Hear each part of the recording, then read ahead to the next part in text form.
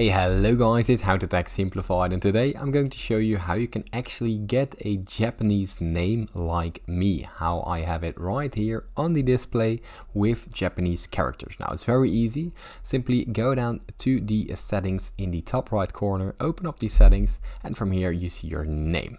Now what you want to do, you want to open up a different tab and from there go to translate translate. Now here translate English to Japanese.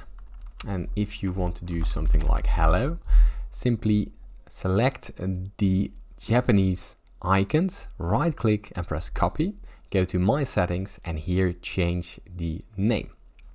Now here you can change your name to the uh, yeah settings and the Japanese name that you like. Now here you can simply press save and now the name has been saved and as you can see my name is in Japanese. Now it's very easy.